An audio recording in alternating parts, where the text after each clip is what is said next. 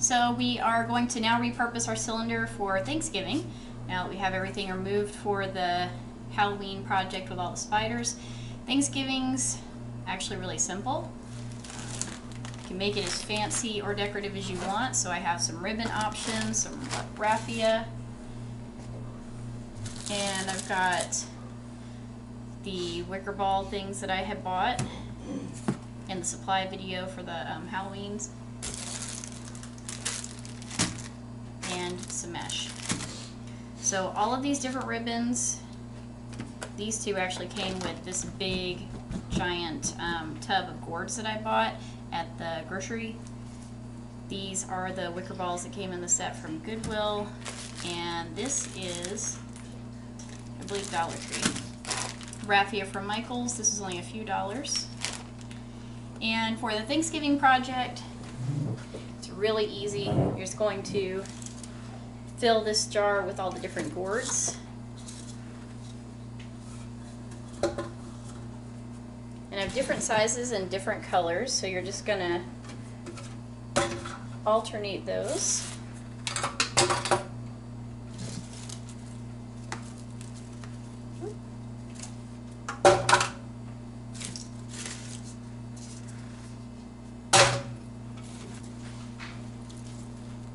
And if you like, of course, you can mix different fall leaves in there.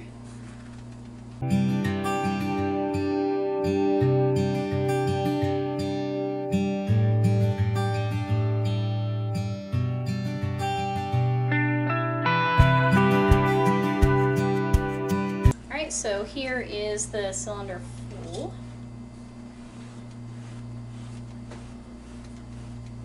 And whatever side you like the best, of course, you put your best side out. And then you can either take things like the mesh, and you could also wrap like some mesh around it. I think burlap would look really nice if you did like burlap little ways up.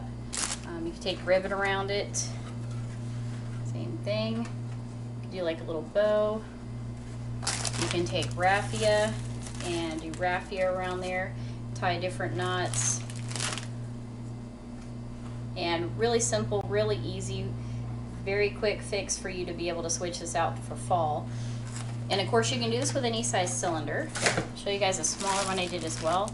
This is a good size cylinder to fill, so depending on where you're finding your different items at, all your gourds and pumpkins, make it a little more expensive. Um, so you can do smaller ones as well, of course. I'll show you guys the small and the large together. And then in a few weeks, I will be back and I'll show you how you repurpose these for Christmas. Welcome back. So I had my smaller cylinder here, did the same thing, and then I added a few of the decorative details so you guys can see. So this is the raffia. I just did a double knot, brought that to the front, and then this is an orange burlap ribbon. It has a little bit of a orange shimmer in it as well. Uh, this cylinder was also a Goodwill cylinder. It was $7.99 normally, and then it was at a half price sale, so I got that for about $4. These are the same gourds. All these gourds are in that huge tote that I bought at the um, sale at the grocery store. So again, you can fill these with anything through the different holidays. Um, those of you guys that actually have like pine trees and different weather changes, you can fill these with pine cones. You can put large hurricane candles in them and just fill like the bottom with like dirt, um, little tiny baby pine cones, smaller little pumpkins. They really have a lot of different opportunities for different items to be placed.